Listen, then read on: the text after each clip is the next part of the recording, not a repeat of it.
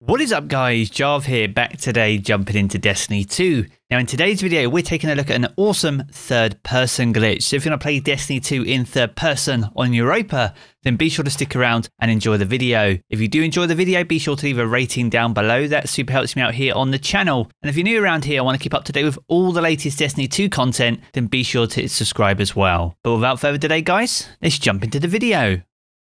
Now, Destiny 2 is very much recognized as one of the best first person shooters out there, but in today's video, we're going to approach the game in third person and see how you can activate it on Europa. But before we do that, before we jump into the meat of today's video, I want to once again invite you all to the Jarv Community Hub. This is a fast growing community Discord we have with over 3,500 amazing Guardians. So whether it's talking about Destiny, sharing your god rolls, or even some awesome clips that you've got through the season so far, then be sure to jump in. It's available to absolutely everyone, and you can find the link to our community Discord down in the video description below. Now, as far as we know, this is one of the first third person glitches on Europa at the moment. There was a similar glitch back in Shadowkeep that allowed you to do exactly the same thing on the moon, but this time we're going to replicate it over by Cadmus Ridge and Charon's Crossing. So if you head over to Charon's Crossing where Variks is and make your way towards Cadmus Ridge, you want to get to a point over here on the floor where you can see your abilities activating and deactivating. Now they will deactivate when you enter the social space, which is what's happening when all the bars grey out.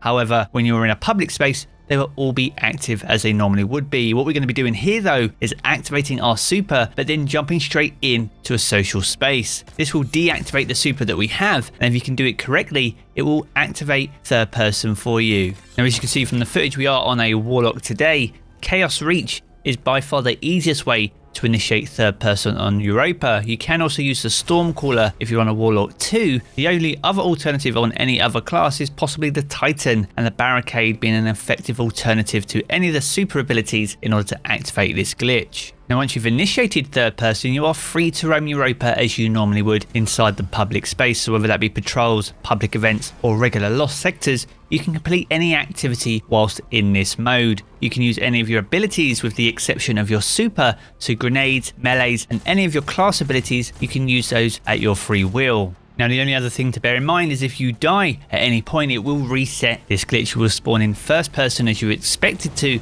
so if you do want to activate this again you'll need to head back to Cadmus Ridge and Charon's Crossing to reinitiate third person. Now all in all it's very surprising how well Destiny even plays in third person. Obviously we can use swords to activate third person whenever we like however to be able to actually fire a primary or kinetic weapon whilst in this mode is very interesting indeed although trying to snipe without a scope is a very interesting interesting challenge inside PvE. So there we have it guys, that is how you activate third person mode on Europa in Beyond Light. So if you haven't tried it already, it's a fun glitch to try and makes for some interesting challenges on some of the public events inside Destiny 2. Now to round out the video, we're going to leave some gameplay of me doing a public event over here in Cadmus Ridge entirely in third person. So if you want to see that for yourself, be sure to stick around and enjoy the rest of the video. This is going to be my final video for 2020. I know it's been a very interesting and challenging challenging year for many reasons. Here's hoping 2021 can be a much better year for everyone wherever you are. I hope you have a great new year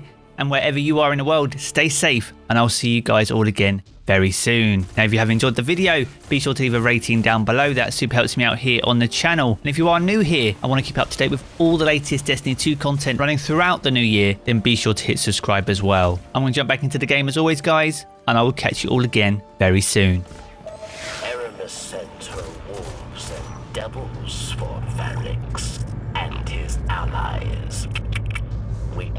The Guardians' help.